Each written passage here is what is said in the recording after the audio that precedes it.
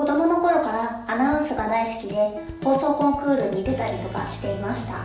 マイクの前に立ちたいと思ってボイストレーニングのスクールに通い始めました。でそこのボイストレーニングの先生に何を目指してトレーニングしていきたいっていうふうに聞かれて考えた時に自分が昔からアナウンスが好きであと小学生の時にフットベースをやっていたのもあって野球もすごい見るのが好きでした。で野球のアナウンサーって実はありなのではないかなっていうふうに思ってそこからウグイス城を目指し始めました。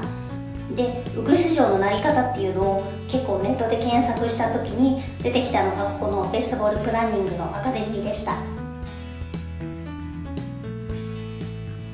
受講し始めて一番びっくりしたのがウグイス城の方たちがみんなスコアをつけながらアナウンスをしているっていうことですね。で私はスコアをつけたことがなかったので瞬時にできるんだろうか。そしてそれをつけながらアナウンスもできるんだろうかってすごいあの心配だったんですけど。でも先生方に教えていただいてまあまあつけられるようになってきました。ベースボールプランニングに所属して初めて社会人野球のアナウンスをさせていただいた時に強く感じたのが本当にすっごい楽しいなっていうことですね。ピッチャーの仕草やバッターの仕草やもういろんなものがすごく身近に感じられてその中でアナウンスをさせていただけて本当に野球が大好きな私には最高だな仕事だなっていうふうに感じました。私は YouTube のボイスコミックのお仕事をいただいたりしてそれがすごい自分にとって勉強になりました、うん、キャラクターのセリフを一つ読むだけでもあ演技力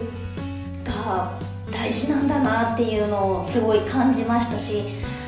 自分が普段なんとなく見ているアニメやゲームの声優さんたちって本当にすごいなっていうのを実際の NPB や独立リーグでウグイス嬢をしていらっしゃった方々が講師として来てくださいます。あと元プロ野球選手の方々も講師として来てくださることもあるので私のように野球が大好きな方にはとってもおすすめです。バスケットボールなど他のスポーツのアナウンスをしていたりあと精通していらっしゃる講師の方々がたくさんいらっしゃるのでなので野球以外にもプロスポーツがどんな風に運営されているか知りたいという方にもぜひ受講してみていただければと思います。私も皆さんに野球のそれからアナウンスの楽しさを教えられる側にいつかなれるように頑張ります。